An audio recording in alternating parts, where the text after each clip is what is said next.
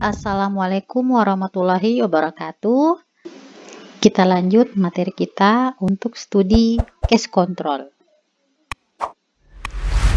Jadi case control ini dia ini masuk dalam penelitian analitik observasional ya.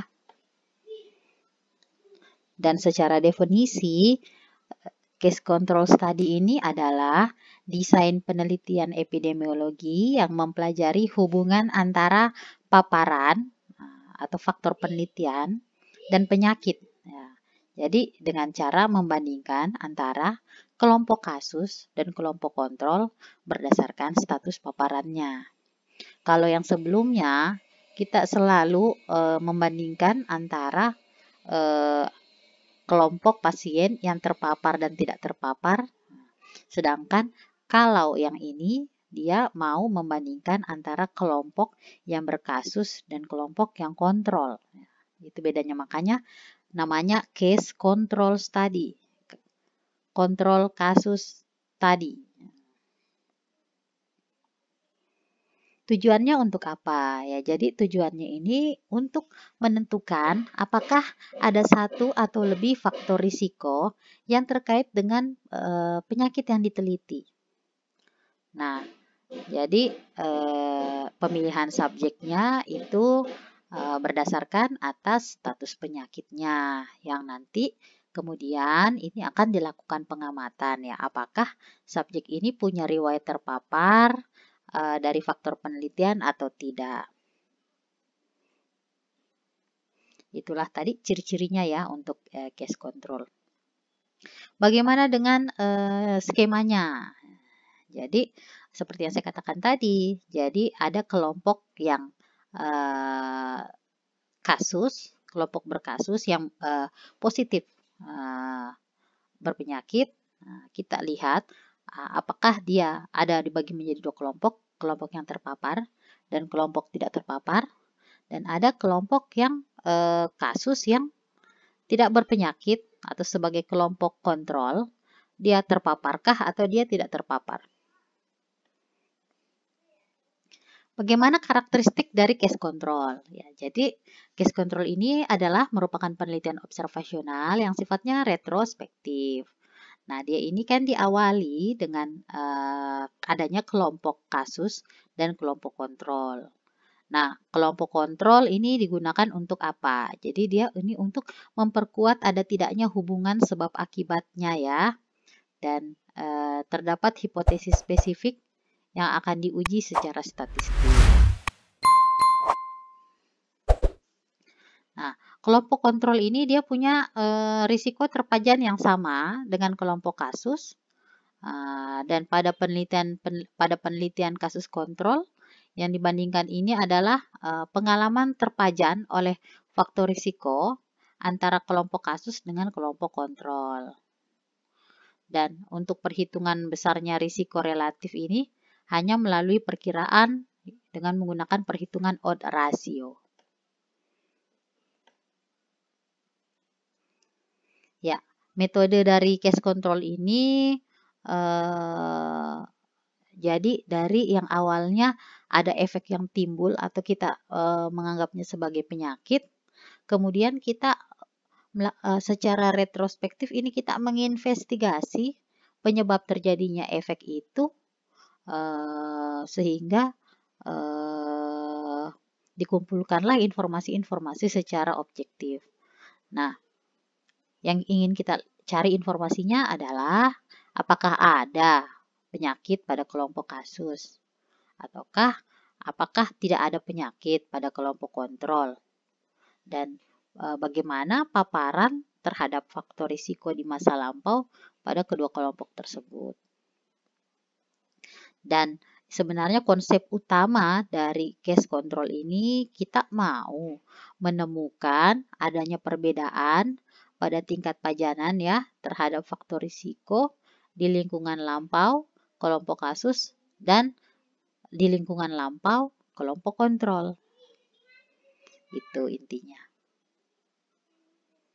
Nah, jadi kalau kita lihat bagaimana sih eh, sejarahnya, bagaimana sih riwayatnya sehingga ada penyakit ini. Seperti itu. Misalnya sekarang, penyakitnya sih tidak diketahui. Eh, per, uh, sorry, penyakitnya sekarang kita sudah tahu, misalnya CHD. Lalu kita mau lihat nih ke belakang, apa-apa sih faktor-faktor yang mempengaruhi uh, terjadinya uh, terjadinya CHD ini. Jadi kita melihat ke belakang ya, kita melihat ke belakang apa-apa saja riwayat antara pasien yang terkena CHD dengan pasien kontrol. Kita mau melihat uh, paparan apa sih yang menyebabkan sehingga terjadi penyakit ini sekarang. Ya, tahap-tahap untuk melakukan uh, case control ini yang pertama kita tentukan dulu sumber populasinya. Nah, sumber populasinya ini dari mana ya? Jadi sumber populasi itu dari uh, kelompok kontrol yang akan uh, disampling ya. Nah, nah, apakah kita menggunakan primary base study ataukah kita secondary base study? Jadi eh, kalau kita eh, kasusnya ini adalah perwakilan sampel dari seluruh kasus yang ada dan kelompok kontrol juga diambil langsung dari populasi ini, itu namanya primary base study. Nah, tapi kalau jika tidak memungkinkan untuk mengidentifikasi sumber populasi secara langsung, jadi mungkin kita ngambilnya dari rekam medis saja mungkin ya. Jadi kita ambilnya secondary uh, base study untuk taraf uh, apa tingkatan S1 barangkali mungkin uh, bisa sih kalau mau uh, base study tapi saya rasa itu cukup berat ya. Jadi uh, secondary base study saya rasa sudah cukup mumpuni untuk penelitian-penelitian S1 yang kedua pemilihan kasus case. Jadi kasus ini maksudnya adalah sekelompok orang dengan penyakit tertentu sesuai dengan penyakit yang sedang dijadikan bahan studi. Ya, jadi idealnya sih diambil dari populasi yang telah ditentukan. Ya. Atau tidak semua anggota populasinya diambil, bisa mungkin secara random ya boleh juga. Di mana sih kita bisa memperoleh eh, kasus-kasus uh, seperti ini? Jadi bisa kita lihat dari daftar pasiennya atau kita lihat dari rekam medisnya, uh, daftar uh, uh, penderita penyakit dari Depkes lokal atau dari organisasi-organisasi yang kita ketahui punya data rekam medis seperti misalnya uh, sekolah, pabrik atau perusahaan asuransi kesehatan. Lalu kita pilih kelompok kontrolnya. Kontrol ini yang dimaksud kontrol adalah kelompok individu yang tidak terjangkit penyakit.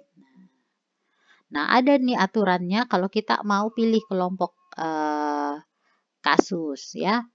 Nah, jadi kalau kelompok kasus ini biasanya dia harus eh, dipilih dari populasi yang sama dengan populasi eh, yang diperoleh dari eh, kasus ya Ah, bila aturan ini tidak terpenuhi, perlu ada bukti kuat bahwa populasi kontrol memiliki distribusi pajanan yang sama dengan kelompok kasus. Jadi upayakan kelompok kontrol ini sama ya dengan populasi kasus. Nah, dan dia ini harus dipilih secara independen tanpa melihat tingkatan pajanan terhadap faktor e, penyebab penyakit. Nah, bisa kita melakukan sampling atau bisa mungkin kita uh, random saja. Uh, ada juga sih eh, sumber-sumber uh, lain untuk memperoleh kontrol. Mungkin ada kelompok-kelompok individu yang terkait dengan kelompok kasus seperti mungkin teman-temannya, tetangganya, koleganya, relasinya ya itu juga bisa kita ambil sebagai kontrol. Nah, kontrol ini uh, yang diambil dari rumah sakit atau dari populasi tertentu ini yang sama dengan kelompok kasus sepertinya itu tidak representatif ya karena uh, kemungkinan pemilihan kontrolnya ini tidak dilakukan secara independen terkait dengan pajanan dengan faktor penyebabnya. Jadi kalau bisa diambil dari sumber populasi boleh rumah sakit tapi beda rumah sakit ya. Nah, kalau misalnya kontrol yang pada kemudian hari atau misalnya ketika studi dilakukan ternyata juga menderita penyakit yang akan dibahas, maka biasanya ini kita harus masukkan dia sebagai keduanya ya. Kita masukkan dia di kelompok kontrol, kita masukkan juga di kelompok kasus.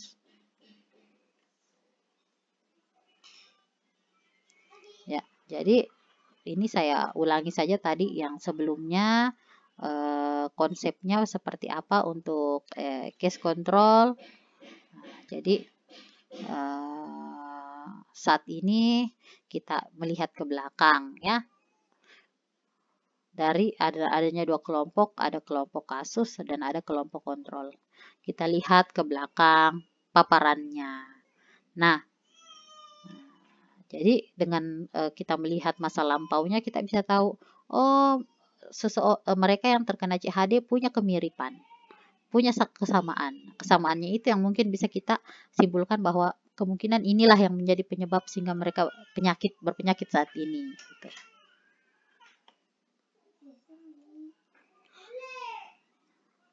Ya, bagaimana supaya uh, kita uh, mendapatkan kesetaraan ya dari uh, melakukan penelitian ini. Biasanya kita lakukan dengan istilah dengan namanya dipasangkan atau kita matchingkan ya. Matchingkan artinya uh, antara kelompok kasus dan kelompok kontrol ini uh, harus mirip ya. Karena bisa jadi ada beberapa kalau agak sedikit berbeda maka bisa berpotensi menjadi confounder. Nah, sedangkan tujuannya matching adalah untuk mengurangi risiko dari confounding ini. Nah, cara matching itu ada beberapa ya. Nah, bisa juga matching satu banding satu. Misalnya untuk setiap kasus dipilih kontrol dengan usia dan jenis kelamin yang sama. Nah, atau misalnya eh, pakai frekuensi ya, matching frekuensi. Misalnya jika ada 25 orang pria dalam kelompok kasus dengan usia sekitar 30 sampai 34 tahun, Nah, maka dipilih jumlah pria yang sama sebagai kelompok kontrol dengan kisaran usia yang sama juga. Tapi matching ini ada kerugiannya juga. Jadi kerugiannya bisa mengurangi presisi atau ketepatan dari studi. Apalagi bila sampai terjadi overmatching ya. Jadi mungkin saja ini akan ditemukan dan tidak ada kaitan antara suatu faktor dengan penyakit yang dibahas atau di mana seharusnya ada kaitan antara kejadian penyakit dan faktor tertentu tetapi malah tidak dapat. Dan kita butuhkan waktu dan biaya yang jauh lebih banyak ya dengan adanya matching sehingga kalau dari segi ekonomi kurang efisien. Selanjutnya bias. Nah, bias ini kan uh, kita sudah tahu ya ini adalah kesalahan sistematis atau deviasi hasil atau hasil yang tidak sesuai dengan kenyataan. Dan ada dua jenis bias yang biasa terjadi pada case control. Bias informasi. Nah, ini bias informasi biasanya terjadi uh, karena faktor cara pengumpulan informasi untuk studi. Yang, sering ter, terjadi ini yang recall. Nah, jadi adanya perbedaan antara kelompok kasus dan kontrol dalam mengingat kembali kejadian-kejadian pengalamannya di masa lalu. Dan ada juga bias dari pemilihan uh, atau perbandingan antara kasus dan kontrol. Jadi dalam pemilihan kasus dan kontrol ini perlu diketahui dengan jelas populasi apa yang diwakili oleh keduanya. Bagaimana dengan analisis datanya? Ya, analisis data ini mencakup uh, perhitungan odds ratio untuk mengukur hubungan antara penyakit dan uh, setiap faktor uh, yang diamati. Dan odds ratio ini digunakan untuk menentukan apakah ada hubungan dan untuk uh, mengukur besarnya suatu hubungan. Kita langsung saja ya. Jadi cara menghitung odds ratio adalah antara kelompok kasus dan kelompok non Nah, yang terpapar dan tidak terpapar. Kita lihat eh, berapa persen kemungkinan terpapar di kelompok kasus adalah eh, A per C dan kemungkinan terpapar di kelompok kontrol adalah B per D. Sehingga kalau kita ingin uh, mengetahui rasio odds-nya, maka kita harus bandingkan kemungkinan terpapar di kelompok kasus dibandingkan dengan kemungkinan terpapar di kelompok kontrol. Sehingga rumusnya adalah A per C dibagi B per D. Bagaimana interpretasinya? Kalau nilainya adalah sama dengan satu, artinya tidak ada bukti hubungan antara paparan dan penyakit. Kalau nilainya lebih besar dari satu, berarti individu yang sakit memiliki kemungkinan terpapar yang lebih tinggi di masa lalu dibandingkan dengan uh, kontrol. Dalam artian ada faktor risiko. Uh, kalau misalnya odds rasionya kurang dari satu, jadi artinya kontrol memiliki kemungkinan terpapar lebih tinggi sehingga menjadi satu faktor protektif ya, bukan menjadi faktor risiko. Ini contohnya satu kali ya, saya kasih contoh. Jadi ini ada individu, ada kelompok kasus dan ada kelompok kontrol. Di mana kelompok e, kasusnya ini adalah individu dengan kanker paru-paru. Sedangkan kelompok kontrolnya ini adalah individu tanpa kanker paru-paru.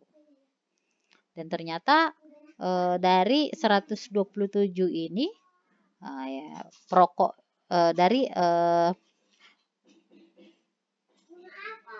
individu dengan kanker paru-paru ini ada uh, 127 yang perokok dan 73 yang bukan perokok. Dan individu tanpa kanker paru-paru 35 orang yang merokok dan 165 orang bukan perokok.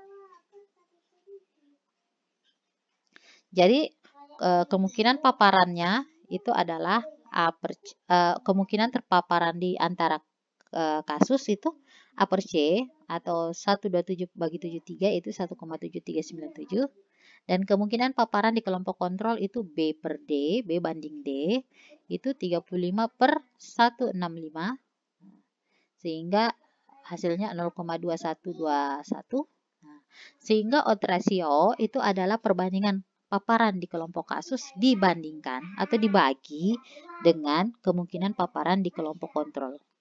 Hasilnya adalah 8,2. Apa artinya kalau misalnya tadi e, di atas 1 didapat 8,2 berarti di atas 1 ya. Artinya merokok dapat menjadi faktor yang meningkatkan probabilitas mempunyai kanker paru-paru. Itu dia maksudnya. Nah, apa sih persamaan dan perbedaannya antara case control dan cohort? Jadi e, kalau persamaannya ya mereka sama-sama bisa mendeskripsikan e, data penelitian yang tersedia dan e, surf untuk cross sectional ini biasanya prevalensi ya. Untuk analisisnya e, bisa dengan cohort, case control, cross sectional, e, ecological ya untuk intervensinya bisa dengan clinical trial, community trial. Nah, perbedaannya dari uh, skemanya saja kita sudah bisa lihat ya. Kalau case control tadi itu dibagi menjadi antara kelompok kasus dan kelompok kontrol. Lalu kita lihat masing-masing yang mana yang terpapar dan tidak terpapar. Sedangkan kalau kalau uh, cohort control ini kita lihat dulu uh, yang mana yang terpapar dan tidak terpapar, lalu yang terpapar berapa yang kena penyakit, berapa yang tidak kena penyakit, yang tidak terpapar berapa yang terkena penyakit dan berapa yang tidak terkena penyakit. Dari segi waktu, kalau case case tadi itu uh, retrospektif ya, melihat ke belakang. Sedangkan yang cohort bisa saja prospektif juga. Keuntungan dan kelemahannya apa? Jadi keuntungannya ini dapat digunakan untuk meneliti penyakit yang langka. Jadi ini bisa digunakan untuk meneliti penyakit laten yang memiliki jarak yang lama antara waktu kontak dengan timbulnya manifestasi, manifestasi klinik. Dia juga dapat dilakukan dalam waktu yang relatif cepat. Dia juga relatif lebih mudah ya dibandingkan dengan kohort dan dapat meneliti beberapa penyebab potensial ya untuk satu penyakit.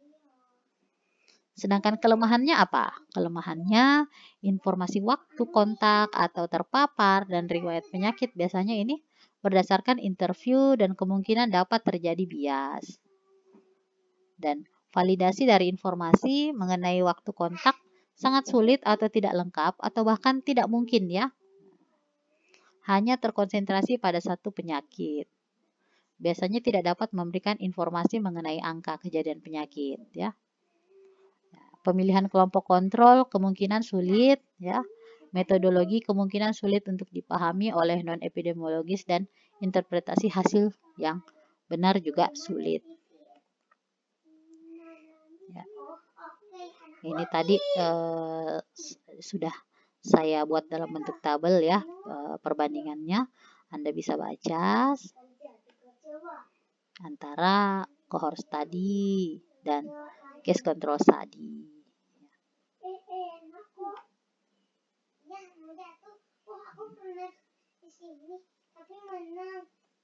Sekian, eh, kita lanjut lagi untuk materi selanjutnya, materi meta analisa ya.